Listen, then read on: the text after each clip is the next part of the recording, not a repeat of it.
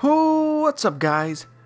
Welcome to my tutorial on how to disable HDCP so you can record it with your Elgato or other capture cards.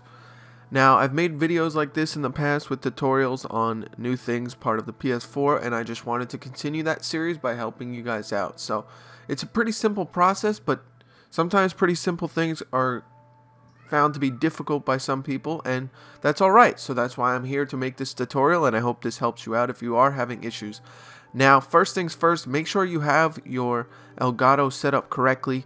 All you have to do is hook up your HDMI from your PS4 connect that to your Elgato and then have an HDCP I mean HDMI out to your TV now that is the correct way to hook it up especially with the HDCP removed now, what you have to do, now this is important, if you're somebody that watches Netflix and stuff like that, you're going to have to re-enable and uh, disable it, which can get kind of old. So that's going to be an issue.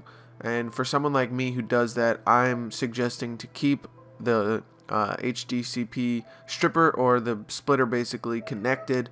And that's my plan with that. But for those of you who do not have a splitter, this is the way you do it.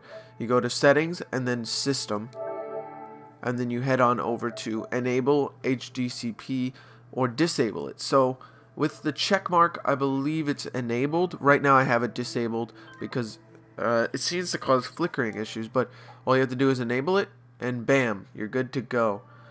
Um, I believe this is enabled, so then what you do is just disable it and you're good to go and you should be able to record through your capture card. Now, I apologize, my screen's going flash, and it seems to do that. I don't know why, and that's why I'm keeping my uh, splitter up, but I'm not sure it's going to be an issue for everyone because no one else I've seen is really having this flickering issue. So, I hope this video was helpful, and I hope you guys enjoy, and I hope this is you know, something that allows you to record if you have not been recording your PlayStation 4.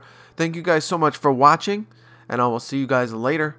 Um, for those of you who do watch my normal videos and not just these tutorials, I'm going to be posting a video again later today, so don't worry.